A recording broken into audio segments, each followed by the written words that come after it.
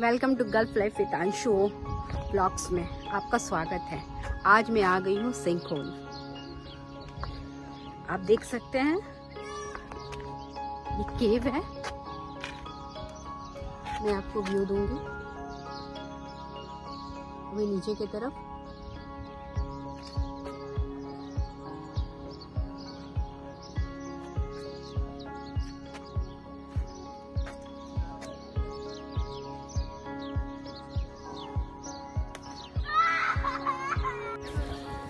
दोस्तों, ये sink hole आज मैं गई थी तो मैं आपको बताऊँगी। आप देख सकते हैं, मुझे एक रशियन मिला, वो जंप करने वाला है।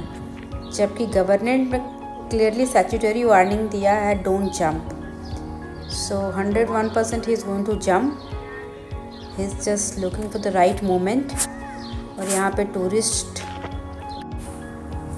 दोस्तों, ये सिंक होल मेट्रॉइड्स के गिरने से एक डिप्रेशन क्रिएट हुआ है। यानी सरफेस में गड्ढे हुए हैं, परत में। लोग बोलते हैं मेट्रॉइड्स गिरा हुआ है, लेकिन बहुत लोग बोलते हैं कि नहीं डिप्रेशन क्रिएट हुआ है लेयर्स का, जिसके कारण ये होल क्रिएट हुआ है। और इसके 500 मीटर ही आप देख सकते हैं कि एक सी है। बहुत इसके जस्ट सामने एक सी है 500 मीटर सोच लीजिएगा, वो कितना नज़दीक है। तो ये sink hole 20 metre and 30 metre wide और लेंथ में है और डीप नहीं है। ये डूबने वाला नहीं है। यहाँ पे आते हैं लोग, मज़े करते हैं, बहुत लोग जंप करते हैं फ़ोटो क्लिक कराते हैं और वीडियो बनाते हैं। और देखिए, ये green colour greenish kind of है। उसमें बहुत सारी मछलियाँ भी मैंने देखा। बहुत छोटी छोटी मछलियाँ हैं और ये साफ़ पानी है दोस्तों। अगर आप ये सोच रहे हैं कि गंदे पानी में कौन नहाते नहीं नहीं, गंदे नहीं, ये बहुत ही साफ़ है। इतना ज़्यादा क्लियर क्रिस्टल क्लियर व्यू है कि नीचे की मछलियाँ दिख रही हैं। और देखिए, ये कितना पुराना है। ये बहुत पुराना है। सो डिप्लेशन ऑफ़ लेयर से ये डिप्रेशन क्रिएट हुआ है। और ये ऊपर से सीढ़ियों से आप नीचे की तरफ़ आइए और इसको चारों तरफ़ गार्डन बना दिया है। गवर्नमेंट गवर्नमेंट ने गार्डन बना दिया है इसको चारों तरफ़ से। और ये बीच में ये सीनरी सो so, अगर आप घूमने आ रहे हैं ओमान तो ये मस्ट आपके आइटिनरी में ऐड होना चाहिए। ये बहुत ही अच्छा ये वन वन टाइम व्यू है दोस्तों। ये बहुत अच्छा है। व्यू भी अच्छा है पानी भी ठंडा है सो so, अगर आप चाहते हैं गर्मी में थोड़ा कूलिंग हो जाए तो this is the best option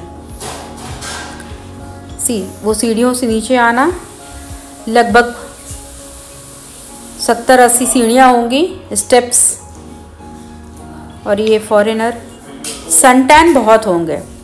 body tan होगा तो सनस्क्रीन पहले से लगा कर आना है और फिर जंप अलाउ नहीं है लेकिन लोग करते हैं जंप तो जो एक बार आता है, वो अगेन एंड अगेन आने की कोशिश करता है। व्यू अच्छा है दोस्तों। व्यू बहुत ही अच्छा है। तो ये सूर एक जगह है, मस्कट से अराउंड 50 किलोमीटर सूर एक जगह है। उस जगह में ये है। और ये मेरी बेटियाँ भी पानी की तरफ़, दोनों बेटियाँ तो इस विलेज का नाम है डिब्बा विलेज डिब्बा जो सूर वाले प्रोविनेंस में आते हैं। तो अगर आप मस्कट आ रहे हैं तो यहाँ पे एक घूमने का प्लान मस्ट होना चाहिए।